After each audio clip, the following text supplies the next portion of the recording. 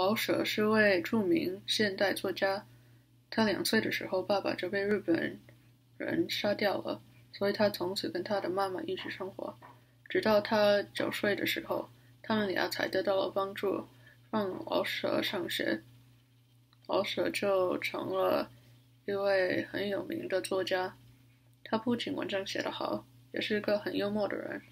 他有一次在耶鲁大学演讲的时候，演讲以前就用中文问：“我是应该用中文讲还是英文讲？”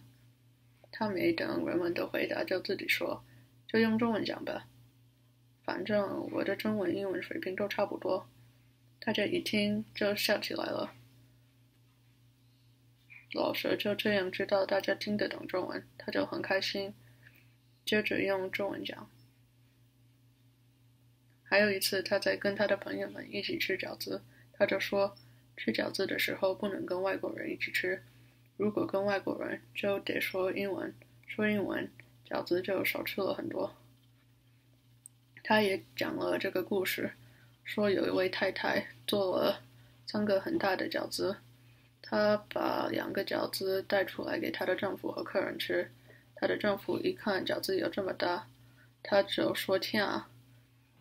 太太就说不能添，一个人只有一个。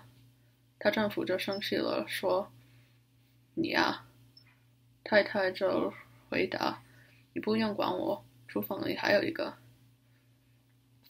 老舍也讲了这个笑话，说：“有个人做了很大的包子，放在地上，大家就拼命的吃，可是吃了很久都没到馅儿。突然有一个人看到了一个石碑。”上面写李谢尔。